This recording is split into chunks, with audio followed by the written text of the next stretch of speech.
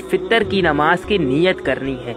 मैं नियत करता हूँ दो रकत नमाज़ ईद उल फितर की छह जायद तकबीरों के साथ। वास्ते अल्लाह ताला के पीछे इस इमाम के मुँह मेरा खाना काबा शरीफ की तरफ़। अब इमाम अल्लाह अकबर कहकर हाथ बाँध कर सना पढ़ेंगे। तो आपने भी ये नियत करके अल्लाह अकबर कह के हाथ बाँध के सना पढ़नी है। और सना पढ़ने के बाद छह जायद तकबीरें होंगी। इमाम पहली तकबीर कहेंगे, यानी अल्लाह अकबर कहेंगे तो आपने हाथ कानों तक उठाकर छोड़ देने हैं। हाथ बांधने नहीं है, हाथ कानों तक उठाकर बस नीचे छोड़ देने हैं, और कुछ भी नहीं पढ़ना। और जब इमाम दूसरी तकबीर कहेंगे तो आपने फिर से इसी तरह हाथ कानों तक उठाकर छोड़ देने हैं। और जब इमाम तीसरी तकबीर कहेंगे तो आपने हाथ कानों तक उठाकर बाँध लेने हैं, छोड़ने नहीं है।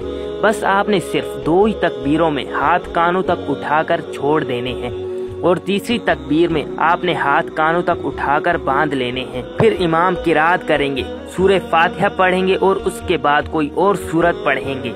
रुकू करेंगे और जब सजदा करेंगे तो पहली रकत मुकम्मल हो जाएगी।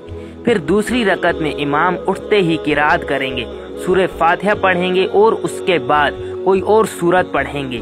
फिर उसके बाद रुकू में जाने से पहले फिर इमाम तीन जायद तकबीरें कहेंगे। आपने फिर से पहली तकबीर में हाथ कानों तक उठाकर छोड़ देने हैं और दूसरी तकबीर में भी हाथ कानों तक उठाकर छोड़ देने हैं। और जब इमाम तीसरी तकबीर कहेंगे तो आपने हाथ कानों तक उठाकर छोड़ देने हैं। हाथ बांधने नहीं है, बल्कि खुले छोड़ देने हैं। यहाँ जो छह जायद तकबीरें होंगी, वो मुकम्मल हो जाएँगी। और जब इमाम चौथी दफ़ा अल्लाह अकबर कहेंगे तो आपने बगैर हाथ उठाए रुकू में चले जाना है। और उसके बाद बाकी सारा तरीका, बाकी दूसरी नमाजों की तरह ही होता है। रुकू, सजदा और अतहियात पढ़ने के बाद इमाम के साथ सलाम फेर लेना है और नमाज़ मुकम्मल कर लेनी है।